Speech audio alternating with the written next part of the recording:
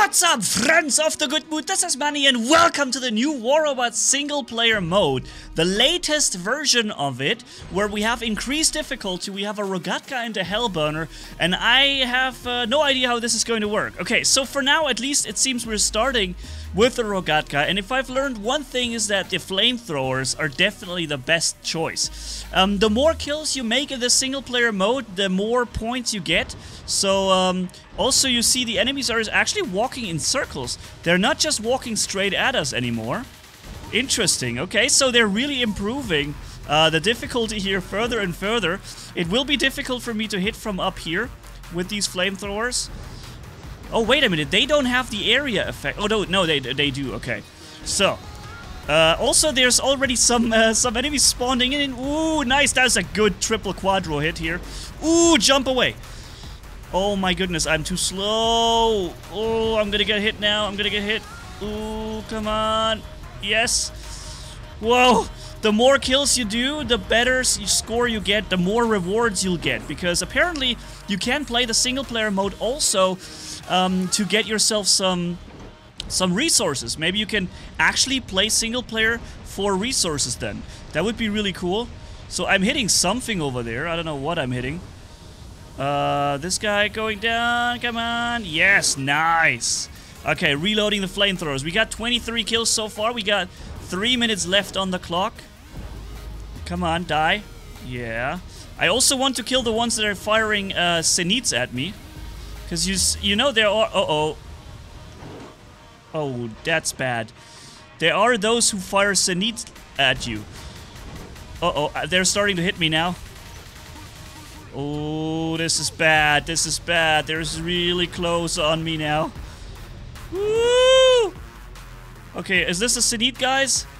Thankfully, I can jump. That gives me a little advantage over these little spiderlings. Uh, this guy is coming in closer. He's dodging. He's a dodgy one. Alright, enough with the Zeniths already. Look at this.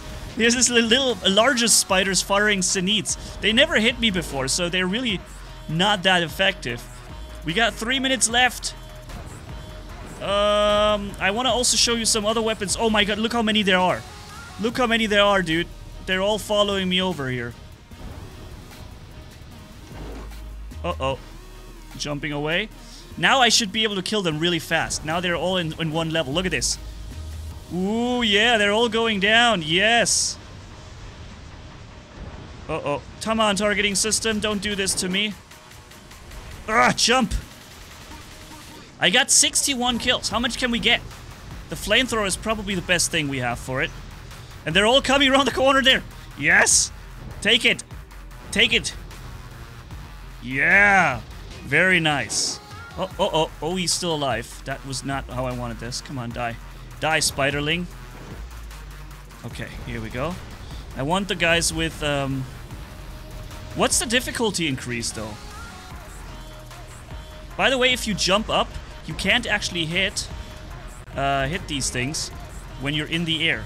So jumping isn't exactly the best solution all the time. Because the if you have an alt altitude difference, Something is coming in from behind too. I see the arrow indicator. There it is. Taking this guy out first. Nice. 80 kills. 115 would be a new, a new record, I guess, that we can achieve for ourselves here. Um, we might have a chance to do this. Targeting system is really making it difficult sometimes. It's like the, the, the end boss is the targeting system here. Come on, come around the corner, guys. Come on. Yes, yes. You all day get that nice flamethrower stuff in your face. Yeah. You little spiderlings. You got you ain't got oh, no chance. I need 15 more kills and then I have uh, the 115 uh, bonus achieved. So let's get this guy. Then these champs. Yeah, they're going down fast. Imagine you could kill players like this so easily. I could try to lure them back into my little trap here. Uh-oh, I'm really close to them now. That seems to work, though. Very nice. Oof, jump. Uh, do the bigger one count more? I wonder. 200... Okay, I think we have achieved the highest uh, you can achieve. At least there doesn't seem to be any more, uh, any more stats. So, let's see what we got for this. Um, it costs apparently 1 H, uh, 1 AU to, to play the mode, but you can win power cells and gold. Oh, and you win the amount of gold that you achieve. I just got 125 gold for my two, uh, 130 kills. I got 130 kills. And 125 apparently was the highest gift you can get. If you could kill 500 you would still get, I think, only 125. I would assume. I think that is the highest amount you can achieve. So even a cheater who teleports around the map and just ruins these things, 10,000 10, of them, he would also only get 125 gold. And then he would get banned.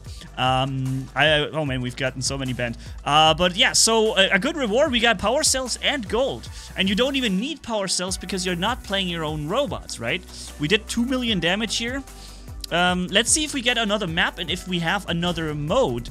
By the way, ladies and gentlemen, if you want to see the gameplay videos with this completely insane new Heimdall here with a, Penta Pantagruel, uh, then the new Grand Balanced Reactor, the new Armadillo drone, the new Northlight battleship, the new nerfed content of the Smuta, check out in the top right corner or yesterday's video for the test server summary. It's a big video summarizing all those changes for you, if you haven't yet seen this. So boosters unavailable doesn't affect your rating. Let's see if we can get onto a different map with a different uh, robots. Oh no, it's gonna be the same robots. I know that the the the Orkans will be a joke. We're gonna test this, but I can tell you already the the Orkans will be a joke unless they improve them. Because I've read somewhere that some weapons apparently have been improved somewhat, uh, or some some elements might be different than on the live server.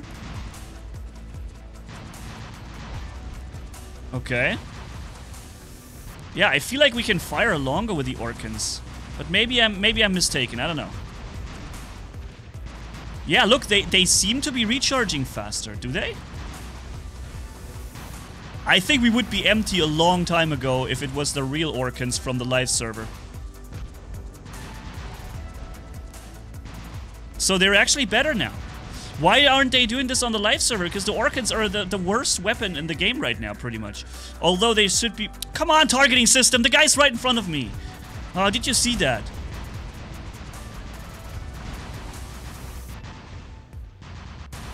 Yeah, look how fast they charge!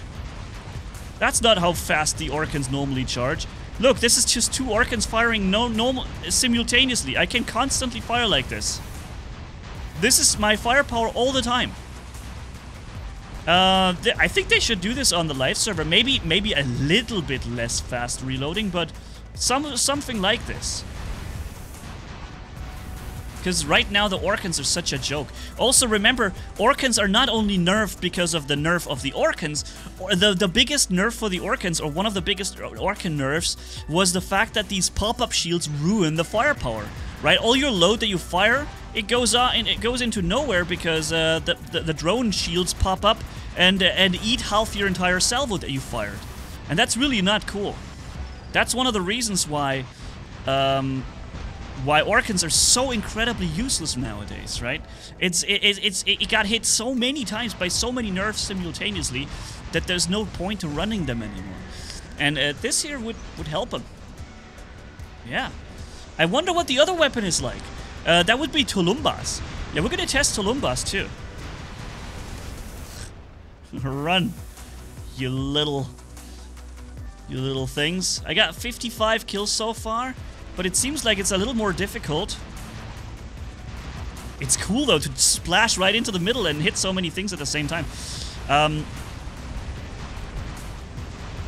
I don't think I'll be getting as many kills as I did with the uh, with the uh, flamethrowers, though. I feel like the flamethrowers may still have done the, the better job, performance-wise. Come on, die. Okay, jumping away. Back into safety. Thankfully, I know the map by heart. I don't need to look at behind me to know what's behind me. Uh, which is nothing. Don't want to jump into the wall. It's really cool to see splash damage taking effect like this. So let me test the the, um, the Tulumbas too, right? I'm gonna swap into the Tulumba robot now. Uh, just to test this. Okay, big splash damage. Also really fast recharge on the Tulumbas. Look! Oh my god, if they made Tulumbas like this on the live server, look at this! Dude, you can constantly fire the Tulumbas. This is so nuts!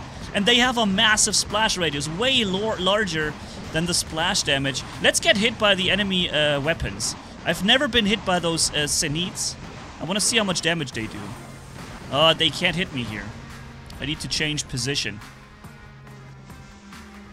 We have 500 meters range on those things. That's also pretty cool. So here, I'm standing. I'm standing still. How much damage do they do? Boom, boom. Boom, boom. Yeah, they're doing some damage. Yeah, yeah, yeah, they're hitting. By the way, they're in range. Can actually hit them at this range. Easy. And now just triple, quadru, ultra, mega splashing in there. This is something I love also about War Robots. I, you know, I told you this. I am a rocket guy. I love rockets in the game. I always did. And uh, and unfortunately, though, the meta has shifted away from rockets. They're no more useful uh, because mostly because of those absorber shield pop-ups. Also because of the nerf. The firepower is under freaking. It's just the, the reload time is just completely impossible. It's it's unacceptable. The reload time is unacceptable. Can they hit me through walls, by the way? I think they don't hit you through walls. Yeah. Well, I've gotten... Oh, no, I think one kill was missing. I think I was down one kill for the 125 gold, was I? Yeah, I got 100... No, actually, wait, I did get 125 gold still. I didn't get 125 kills. There was one kill missing. Ah, interesting. Maybe they were... Maybe they felt um, I deserved that extra point. Anyways, uh, that is the new game mode. Uh, I really like it. However, there, we need to we need more variety of enemies. We need a higher enemy variety, like so many. We need so many. We need bosses. We need uh, tiny mini things like the spiders, then more more faster flying things that come at you, um, that shoot a little bit at you with little machine guns, don't do too much damage. Maybe they aren't accurate. Maybe they fire really slow and you can dodge the bullets uh, or something. Um, we need we need stealth things that come from from a, that that uh, only become visible uh, when they get close enough to you, uh, like when they get like 120 meters or uh, 200 meters in front of you, then they only decloak, and until then you can only see them. Um, you can only hit them when you hit them with something else. I don't know. You know, I'm just spinning a few ideas here. We need a huge variety. This needs to be like a freaking uh, horror game. There's so many things coming at you from different directions and angles, and maybe maybe teleports. This on the valley, no, on the on the abyss map where you can use teleports to escape enemies. And on the valley map, it's more difficult because they have more enemy types that are really crawling in from different angles, and you need to use the teleports in order to stay alive. If you don't, you have no chance. You know, there, there's so many cool ideas you could do. Also, if they implement this in a way where you can really play single player if you're having a bad connection right now or if you just don't want to play and competitive right now then just go single player and play your points earn silver earn something uh, using single, single player. Would be cool right uh, but yeah, there's a lot of room for improvements, obviously, since this is still the beginning of this whole thing. But I love it already, and I hope you guys do too. Tell me what you think about this game mode. I'm, I'm stoked. I, I like the idea of having a single-player mode for War Robots. It's cool. Although, of course, we have other things that need to be done too and fixed, like the lags that we have, some crashes that happen, not only on emulators, but also on mobile. Uh, and uh, so, very important things that need to be tackled. But I'm probably, I'm hoping Pixonic's on it. I think they are. By the way, do you notice that the weapons on the Heimdall are not correctly mounted. The left one and this one are correct. This one maybe too, but this one sticks into the Heimdall. That's weird, isn't it? Yeah, look. I just noticed that. It's just, it's not symmetrical. Huh. Uh, but that's just something, some bug on the test server, right? It's not, it's not on the regular server like this. I think I would have noticed that. Anyways, thank you all for watching. Have a good one. Catch you in the next videos. And uh, yeah, stay ready for the next giveaway too. The most expensive item in the entire game of War Robots that I'll be giving away. So you don't want to miss out on this. See you then. Bye-bye.